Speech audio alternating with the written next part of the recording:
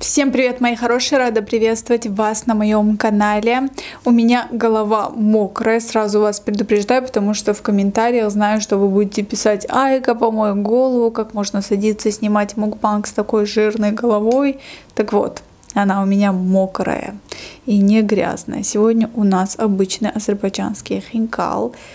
Какой-то у меня странный кефир, очень густой такой, наверное, мама из деревни привезла. В общем, здесь у нас гранат. Давайте польем немножко граната. Вот так. Обожаю гранат. У меня ассоциации такие прям с осенью. Вчера, кстати, наконец-то приехала мамочка. Я очень соскучилась по ней.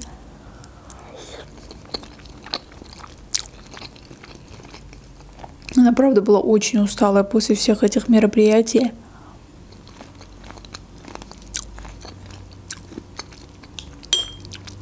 Прям как будто, знаете, дом заполнился людьми.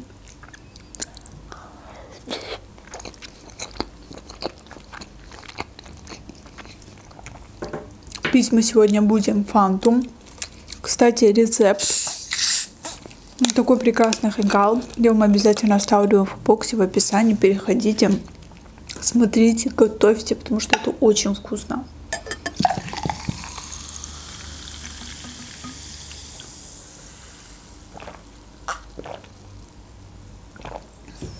Давайте это аккуратненько переместим сюда. Что насчет новостей? Наконец-то моему коту лучше. Он потихоньку выздоравливает. Слава богу.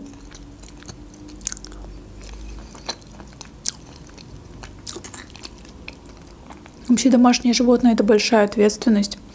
Я это теперь уже поняла.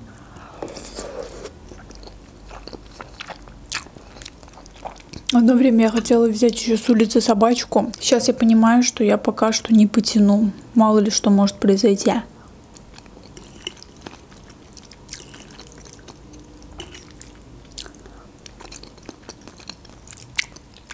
Огромное спасибо всем за хорошие комментарии под прошлым видео.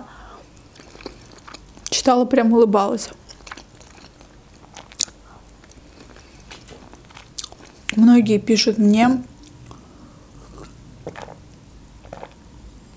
про ситуацию с мобилизацией в России. Просят, чтобы я как-то прокомментировала.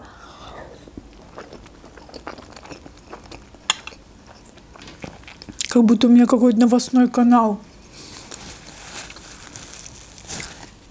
Что могу сказать я? К нам приезжает очень много людей. Аэропорты переполнены россиянами, так скажем. Но я никого не осуждаю, я считаю, что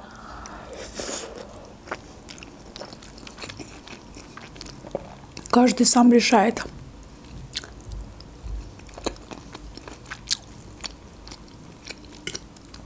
Мы как бы гостеприимно всех принимаем. У нас нет никакой агрессии. Мы еще, знаете, когда заметили, когда у меня дядя приезжал, столько было русских. В аэропорту было просто столько людей. У моей подруги, которая живет в Саратове, у нее есть парень.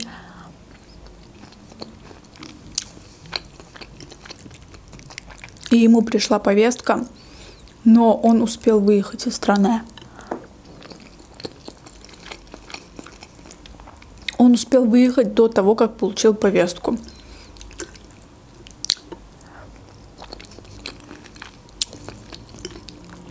Дай Бог всем нам здоровья, мирного неба над головой, чтобы это все поскорее закончилось. И никогда не возвращалась. У меня бабушка, которая прошла войну, она рассказывает про ужасы войны просто и всегда говорила, не дай бог, чтобы нигде в мире была, не было войны.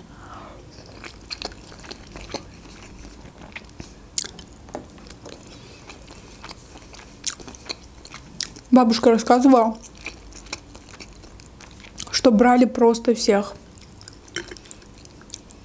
Просто всех, которые хоть как-то способны держать в руках автомат. И приходили обратно. Из 10 человек один приходил, и то в виде инвалида. Поэтому это все очень страшно.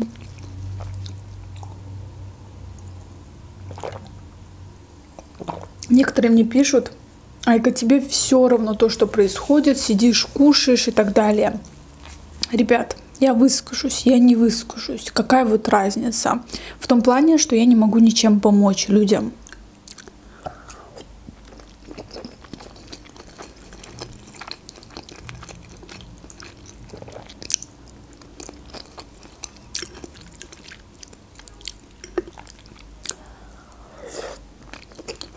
У нас просто сухопутная граница с Россией закрыта. Прилететь можно только на самолете. И рейсы тоже ограничены. И вот когда прилетает самолет, мы когда последний раз были в аэропорту, буквально пять дней назад, в аэропорту был просто хаос. Столько людей.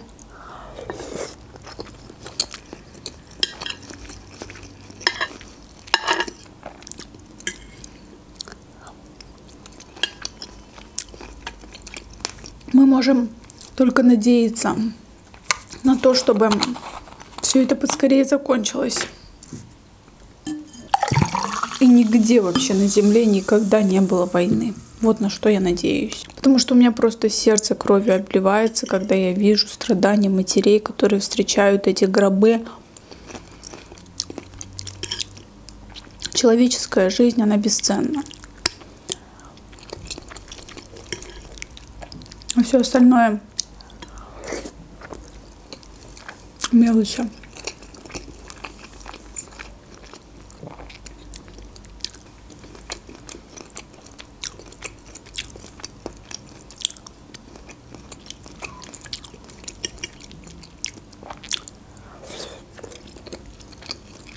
Очень вкусно.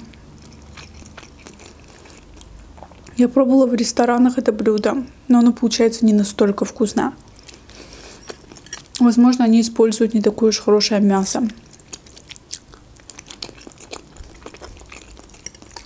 Или не досаливают. Я люблю, когда блюдо соленое. Вот моя бабушка всегда рассказывала про свою бабушку. Бабушка всегда говорила, вот когда меня не станет, ты тоже рассказывай про меня. Меня чисто машинально получается. Я что-то, например, начинаю говорить и сразу вставляю фразочки бабушки, которые она говорила при жизни. Она всегда говорила, вот я говорю эти вам вещи, но меня скоро не будет. И мы всегда, то есть, угорали с этой фразы. В смысле не будет, ты еще сто лет жить будешь.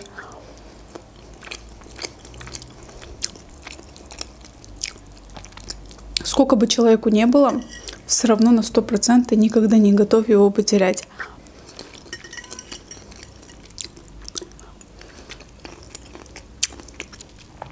Даже если бабушке там 130 лет. Некоторые просто в комментариях умники пишут мне, что ты там, не знаю, переживаешь. Дай Бог нам всем прожить столько лет. Поверьте мне, сколько бы ни было лет человеку, это никак не влияет. Влияет то, насколько ты привязан к этому человеку. То есть ты не можешь сказать, вот она прожила, например, сто лет и нормально.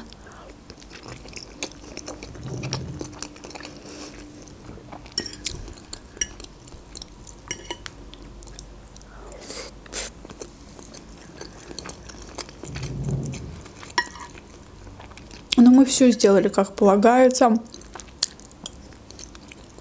Приехал еще мой дядя. Он тоже во всем этом участвовал.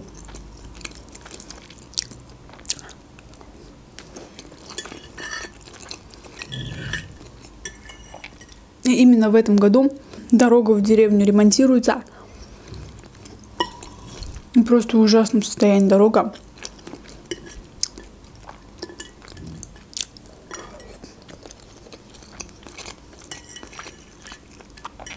Долго мы ехали.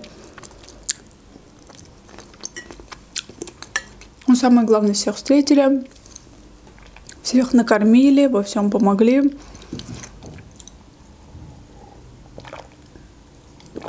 У нас получается, я вам уже говорила, что каждый четверг и пятница поминки каждой недели. Но в последнее время из-за того, что в деревне это очень затратно, уже многие перестали это делать. Например, после похорон одни поминки в четверг и пятницу, и все.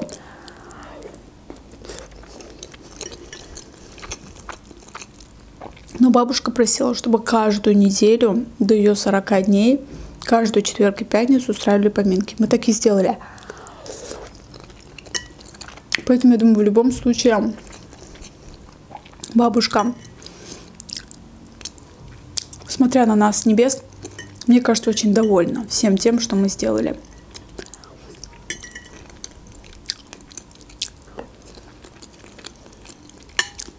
А вообще в моей жизни, мне кажется, это первая такая потеря серьезная. Дедушка умер еще очень давно до моего появления. Это то есть папа папы.